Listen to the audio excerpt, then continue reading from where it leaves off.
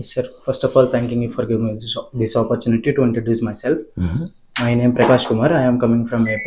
I have completed my graduation in the year 2023 in Jagarlamudi Kuppuswamy Choudary College with CGPA 8.1 and I have completed my intermediate in Sri Krishna Junior College which is also located at Guntur with a CGPA 8.5 and I have done my secondary school level education in my native in BVR with CGPA 9.3 and at the um, final semester of my graduation I have done an internship uh, of uh, for the role UI developer.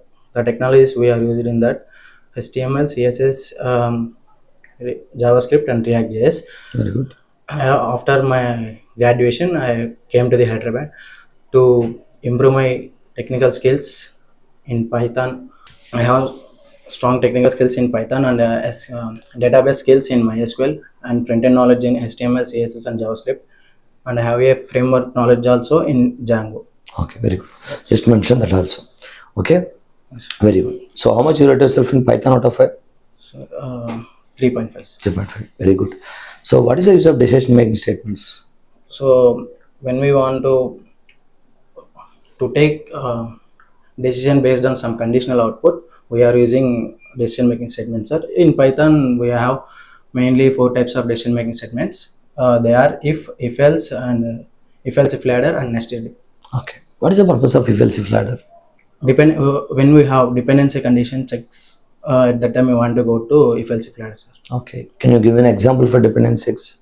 Greatest number among three numbers. At that time, we want to go to the if else if ladders. Okay. Okay. Very good. What is the difference between list and tuple?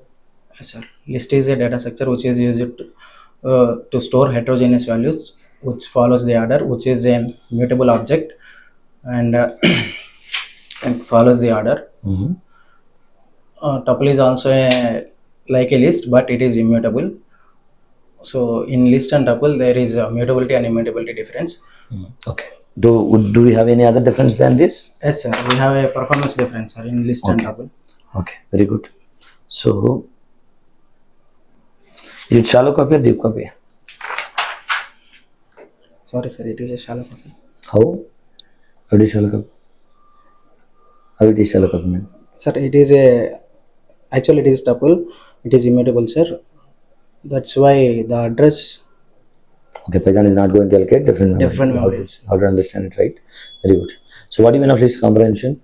uh, when we want to create short way of list is nothing but a list uh, list comprehension. So, tell me, what do you mean of set? Um, Set is also a data structure which is also used to store heterogeneous values, but it does not follows the order. It does not have index. It is a mutable object, sir. mutable data structure. Okay. So, why it is unordered?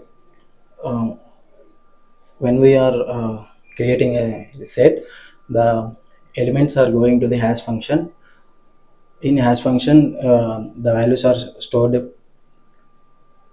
by the index, which is given by the hash function. How? How? How it is happening? Can you write? For example, I am having set x is equal to 1 to 3. That's it. So what is happening behind the scenes? Let me know. Set, set. So you need to take curly brace right man. Yes, sir. Yes, sir. Yes. Yes. So what do you mean of generator?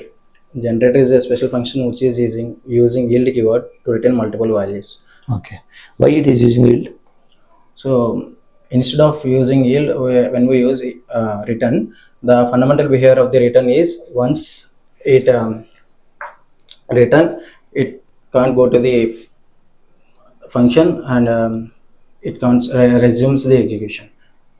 Why? That I mean, what is the purpose of going back to the function? We want to return multiple values, sir. Sir, when we want to return multiple values, we are using yield keyword. Because uh, when we use return we can store all the all those values into one place and we can return it in one shot. Uh, this means um, it is uh, unnecessary use uh, unnecessary wastage of memory sir in memory. Memory point of view so that's why the fundamental behavior of the yield keyword is once it returns and uh, coming back to the function and uh, resumes the execution Okay. Okay. So very good. What do you mean of closure? Closure is uh, remembering the local variable outside of the function. How the things are happening behind the scenes? Yes, sir. When we want to uh, give some security to the global variables, uh, we are going to create closure. Mhm. Good. So can you write a recursive function? Like, I want you to find the sum of first and natural numbers by using recursive function. Okay. Yes.